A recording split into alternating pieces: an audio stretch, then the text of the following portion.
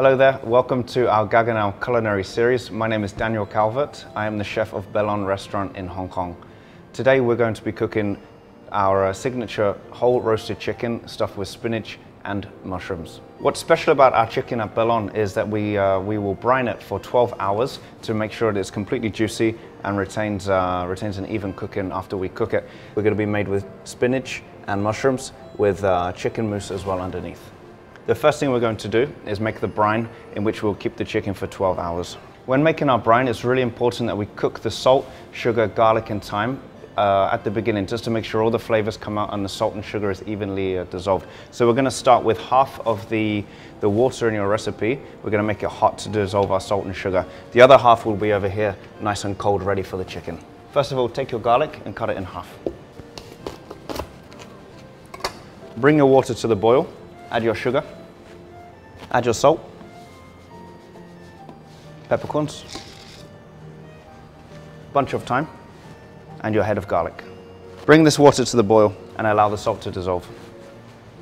Take your maltose, which is inside the, inside the brine, so make sure you get a really beautiful crispy skin after your chicken, and fold in your spoonful of maltose inside. Bring everything to the boil. If you don't stir the maltose, it's, it's quite likely to burn, so just make sure it's uh, stirred and easily dissolved, please. Once your brine comes to the boil, you want to take the rest of the cold water over here. We're going to pour the hot water inside the brine. Leave all your garlic, thyme, maltose, everything inside it. You're going to allow that to cool. It's going to take about two hours in the fridge. Once the brine is cold, we're going to put the chicken into the brine for 12 hours in the fridge overnight. So take your chicken. We want to check inside the cavity, make sure it's nice and clean inside. There's no innards, there's no livers, there's no blood. It's going to make the chicken taste a little irony and sour. Turn it over, look at the cavity inside here behind the neck, and make sure you remove any excess fat. This will help you a lot when you're stuffing the chicken later on.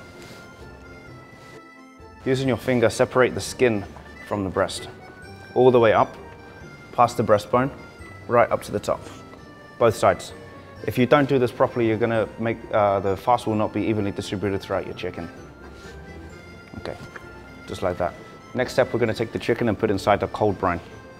When you put it in, make sure you get the whole cavity right here full of the brine. Otherwise, it will, it will not brine evenly. Once the chicken is inside the brine, put it in the refrigerator overnight for 12 hours.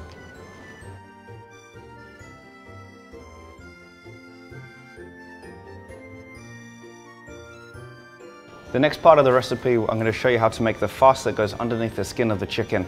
The, the farce is the part that protects the breast from overcooking while the legs stay nice, moist and juicy.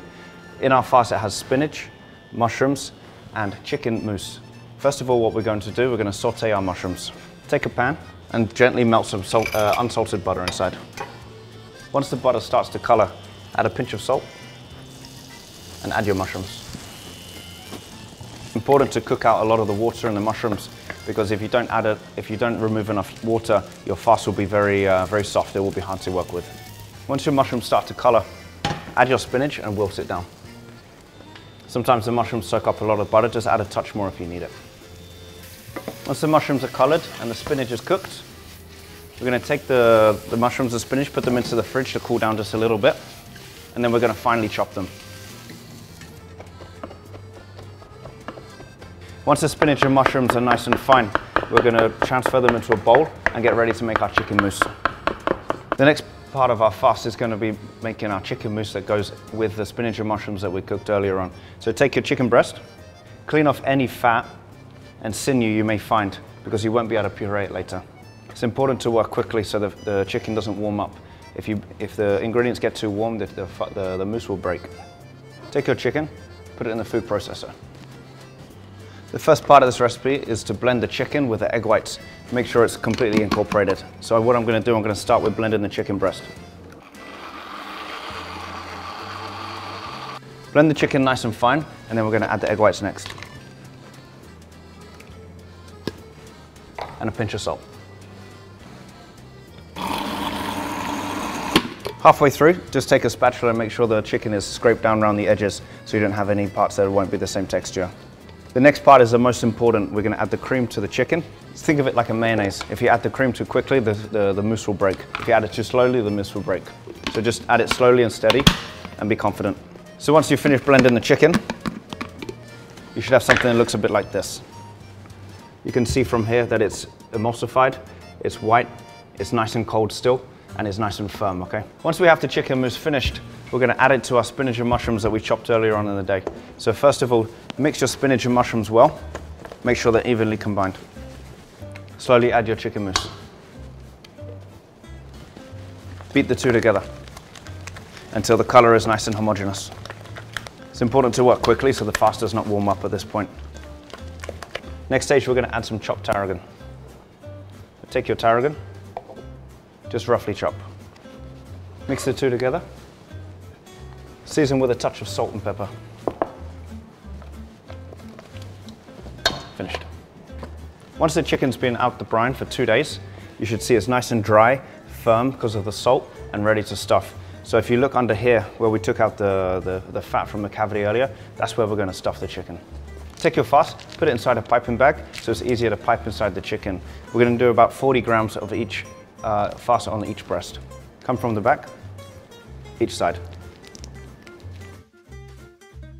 Taking the time to smooth out all the way to the top of the breast. Nice and even from top to bottom. You have farce all the way up here and all the way down here.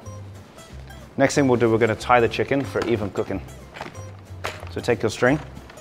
You want the string to be about double arm length, like this. With a chicken head facing you, take your wings and fold them underneath, just so they have the bird has somewhere to sit on. Take your legs, cross together. Make sure the string is even at both sides and fold underneath the chicken. We're going to cross that over once, twice, into a figure of eight. Pull the string together to cross the legs. Taking your thumbs, push down the thighs so you have more height with the legs. We're going to tie back over once, twice, three times to make sure it's secure. Use your fingers to cross the legs at the front and pull to fasten. From this side, we're once again, we're going to wrap the right hand side underneath the left hand side. Once they're crossed over, bring the string behind the breast and tie it at the neck. Once again, once, twice, three times. Take a second to use your fingers to make sure the farce is evenly distributed. The drumsticks are pushed back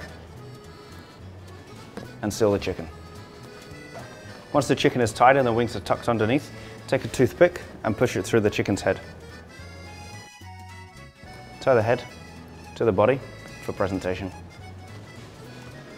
Once the chicken is tied and ready to go, we're going to steam the, the chicken for seven minutes to set the skin. This will make sure the skin stays crispy and golden. So take your steamer, set it to 90 degrees, 100% humidity.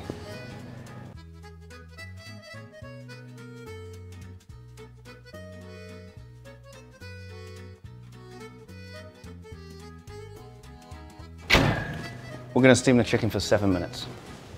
After seven minutes, take the chicken out the steamer.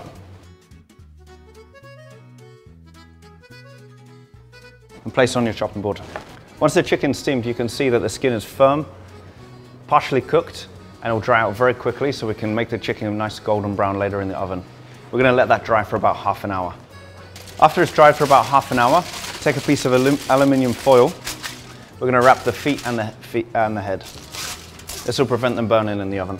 Take each foot, wrap it nice and tight in the foil. Repeat the same with the head.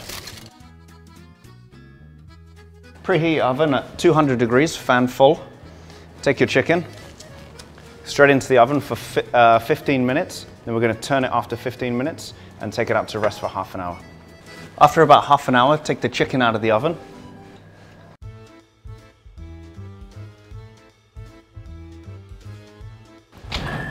and quickly remove the foil.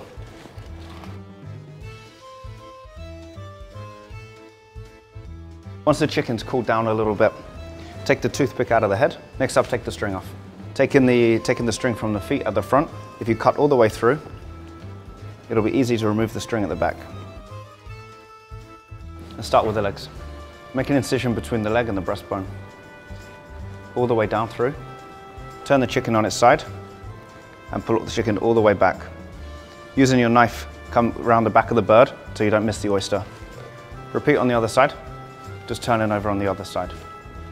All the way to the backbone. Next part, we're gonna take the breast off the bone. This is the part that needs to be most gentle. Because the wishbone's already taken out the chicken, we're gonna start at the top, move all the way down to the bottom, straight through. Using your knife, push the breast off just a little bit and make nice, beautiful long strokes all the way down to the bottom. Turn around and do the same the next side. Finally, the wings will come off the bottom of the chicken. Don't take these off first because it won't be stable. All the way through and turn the next side. Take the legs, cut between the thigh and the drumstick, all the way through the bone. Repeat on the second side. Last part, we'll take the breast, just trim off the top of the breast and the bottom of the breast. Second side, and cut in half. That's it, finished.